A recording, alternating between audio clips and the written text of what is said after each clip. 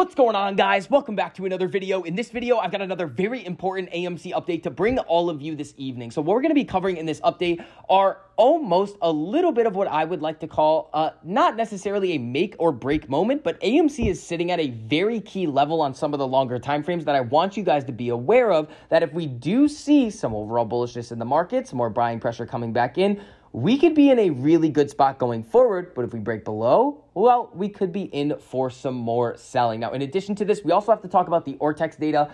Uh, anything related to the option chain that we are seeing right now, including uh, the open interest, any potential for a gamma squeeze, specifically looking at that July monthly options expiration period and what the max pain is. Now, in addition to this, we also have to talk about what Credit Suisse is doing right now honestly, the move that Credit Suisse has just made, in my opinion, is setting them up for complete and utter failure, liquidations, and severe losses going into the future. And we're going to go over this and exactly why this is such a bad move and could end up causing a systemic res- uh, risk to the overall market. So before we get into all of that information, if you enjoyed the information and analysis that I provide for you in this video, make sure you go down and hit that like button. It costs you nothing to do it, but it really helps us out a whole lot in getting this information out to as many people who want to learn. And if you guys want to see more videos like this, make sure you hit that subscribe button and turn on that notification bell so you're notified every time I post a new video. And I think everybody knows by now, but the apes are not leaving. So drop an ape down below in the comments to let everybody know. So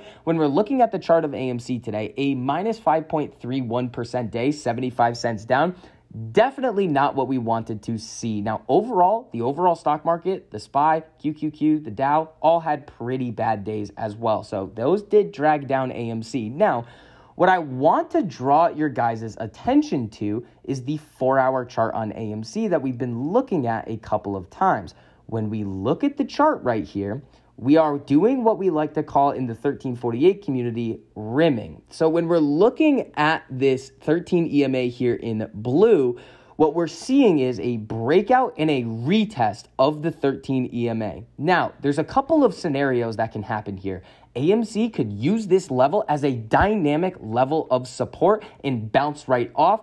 Or we could see some more selling in the market. We break that back down, back down below here, and we then use this level as a dynamic level of resistance. So we are at a very key level right here with this 13 EMA. The one thing that I really want you guys to key in on too is tomorrow is a pretty big day in the overall market. We have the GDP revision coming out, and we have Jerome Powell and a couple of other big players in the global monetary policy environment speaking at the ECB conference. So we have a pretty big event tomorrow, but that could cause a lot of volatility in the overall market. But we do have this cross up right here uh, with the 1348, which is typically a sign of strength, a, a sign of bullish momentum going forward. And again, guys, uh, if you do want access to the strategy in full, all of the training curriculum videos uh, that are going to take you from zero to 100, if you know nothing about options, you can learn, you can watch the videos, technical analysis. We have the 1348 strategy broken down as well. We have all the alerts, private live streams. If you guys are interested, check out that link down below. Now, I do want to get into what is going on with the Ortex data for AMC right now. If I give this a quick refresh over here, uh, we've got 20.98% estimated short interest. Now, you might be asking, how did the short interest go down if we were down today and we had a pretty significant day yesterday? Was that shorts covering? Well, we go through this every two weeks, but we did see the exchange reported short interest data released yesterday, and Ortex was overestimating. Um, what the short interest was on the settlement date of June 15th. So it only makes sense they have to correct their calculations. We see a slight decrease in the estimated short interest. Now, we also have 186.39 million shares on loan, but cost to borrow 58%.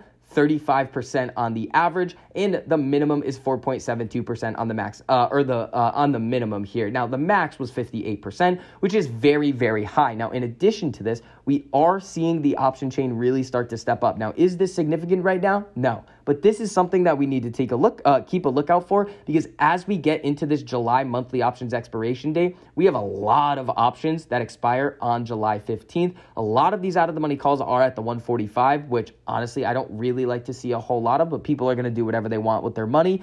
But we do have a lot of puts in the money that if they do run out, we could see a decent amount of delta hedging coming in, which is going to add a little bit more buying pressure in addition to that Russell 1000 addition. Now, When we come over to the Max Pain here too, Max Pain on AMC, $13 a share this week. When we come back down and take a look back at the price, well, we're sitting at 13.38. So it's very possible that we do end up finishing around max pain.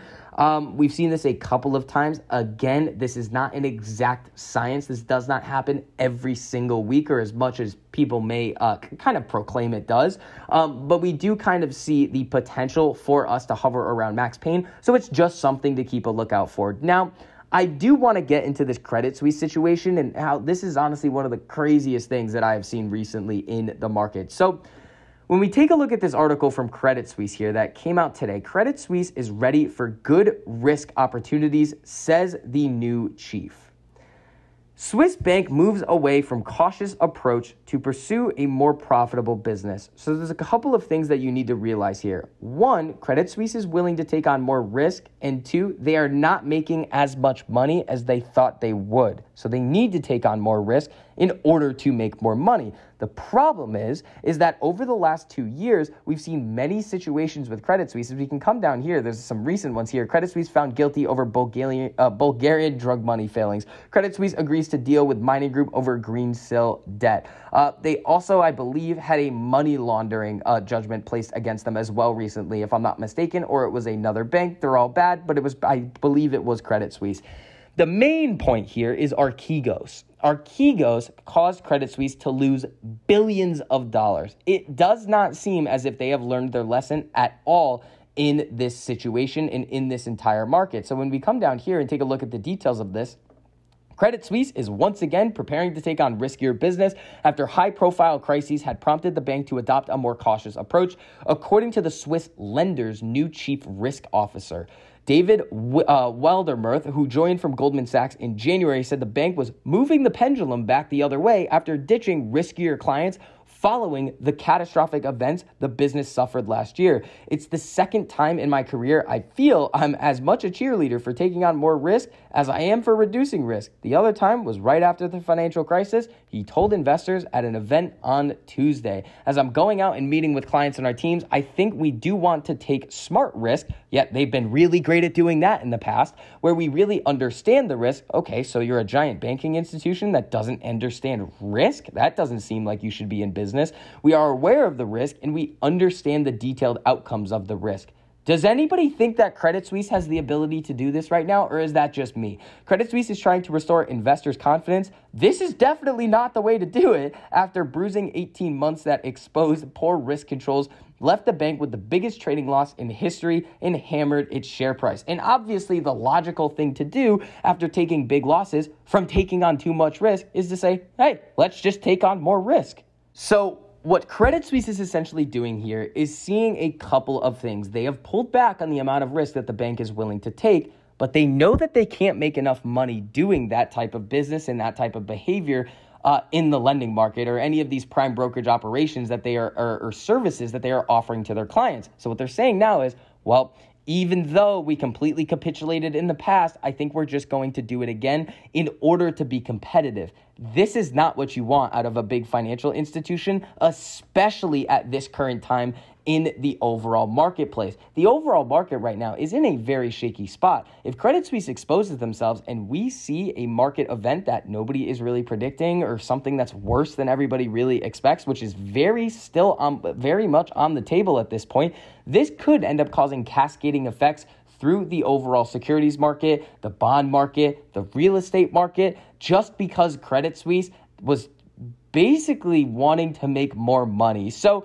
that is going to wrap up this situation on Credit Suisse and the whole technical situation going on right now with AMC. If you enjoyed the information and analysis that I provided for you in this video, make sure you go down and hit that like button. It costs you nothing to do it, but it really helps us out a whole lot in getting this information out to as many people who want to learn. And if you guys want to see more videos like this, make sure you hit that subscribe button and turn on that notification bell so you're notified every time I post a new video. So I hope you guys are having a great evening and I'll see you guys in the next one.